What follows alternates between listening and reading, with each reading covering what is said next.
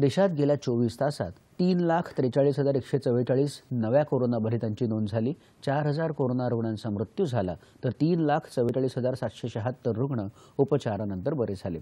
देशात आतापर्यंत दोन कोटींहून अधिक रुग्ण कोरोनामुक्त झाले असून सध्या सदतीस लाख चार हजार आठशे त्र्याण्णव रुग्णांवर उपचार सुरू आहेत. देशभरात आतापर्यंत दोन लाख बासष्ट हजार तीनशे सतरा रुग्णांचा कोरोनामुळे मृत्यू झाला आहे.